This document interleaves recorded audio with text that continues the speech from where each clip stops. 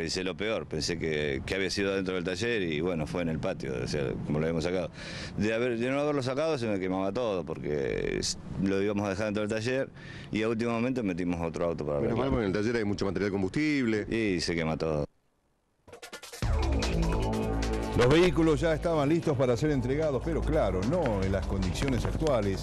Ricardo Montanini relata las consecuencias del incendio que destruyó una camioneta y un auto en el patio de su taller de hidráulica en Don Bosco al 700.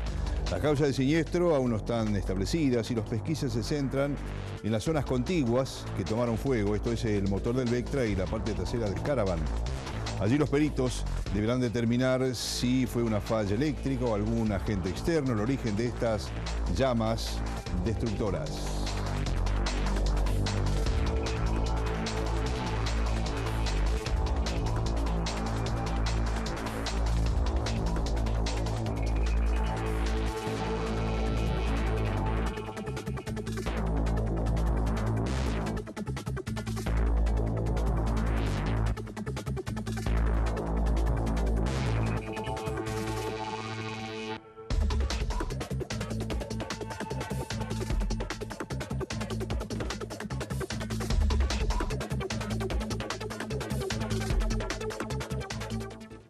Y tal como se preveía, recién se emitió un comunicado con algunas restricciones que va a tener a partir de ahora el Parque de Mayo. Enseguida les vamos a leer todo el comunicado, pero en su parte trascendental dice que toda actividad que se pretenda realizar dentro del Parque de Mayo debe ser consultada previamente con la autoridad de aplicación y ellos son los que evaluarán si resulta factible en función de la intervención que se está desarrollando en toda la superficie del Parque de Mayo. En instantes les vamos a leer completo este comunicado que se acaba de emitir desde la municipalidad con respecto a las restricciones de las actividades que pueden o no desarrollarse en el interior del Parque de Mayo.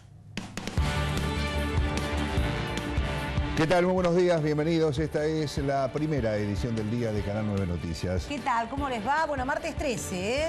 Crucemos los dedos. Yo no me pienso casar ni embarcar. Yo por eso me puse la corbata colorada. La corbatita colorada. ¿Eh? Para evitar el mal de ojo, por las dudas.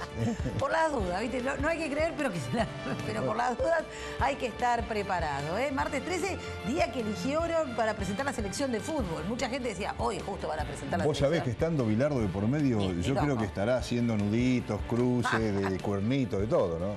Bueno, pero hoy van a presentar la definitiva selección de fútbol de Argentina que nos va a representar en el Mundial de Brasil y eligieron los martes 13. Ojalá sea sinónimo de suerte. Bueno, ¿eh? hay 30 por allí, los 7 que saca son los 7 mufas, entonces quedan los 23 buenos. No puede ser, puede ser. Bueno, le damos la bienvenida en una jornada muy linda hasta el día, ¿eh? Sí, no va a subir mucho más la temperatura, pero está agradable. Por lo menos hasta ahora había lindo sol. Allí vemos la imagen, ¿no? Que se está viendo límpido el cielo de nuestra cámara de exteriores. Bueno, enseguida les vamos a contar el pronóstico que va a pasar en las próximas horas, pero ahora tenemos para compartir los siguientes tiempos. Río Céntrico, la rotura de un caño maestro en Cerrayán y 19 de mayo inundó el sector y dejó sin servicio la vecindad. Una contratista de fibra óptica dañó el acueducto de 300 milímetros. Grupo disidente, un grupo de pescadores artesanales que habían manifestado en la Ruta 3, corta el acceso a Montermoso y desconoce las gestiones de la Cámara que presentó un amparo contra los barcos marplatenses. Seguidilla en Celarayán y Colombia, dos motochorros armados se llevaron a recaudación, amenazaron a una chica embarazada. Minutos después se alzaron con la caja registradora de una carnicería cercana. Tarjetas a pleno, el viernes vence el plazo para comenzar a utilizar el nuevo sistema de estacionamiento electrónico. Notable afluencia de conductores para obtener los plásticos.